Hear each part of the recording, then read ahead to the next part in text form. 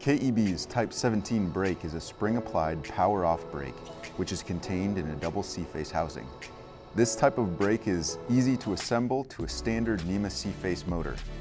First, the motor shaft is inserted into the brake's input sleeve. Then the brake's output shaft is inserted into the gearbox with a standard quill-style C-face input. Here's how the brake works. When DC voltage is applied to the magnet coil, a magnetic field is created. The magnetic force pulls an armature across a small air gap and compresses the multiple springs embedded in the magnet housing.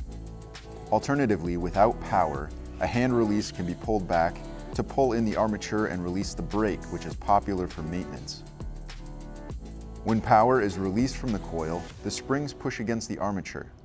The friction lining is then squeezed between the armature and a stationary friction plate and a brake torque is created.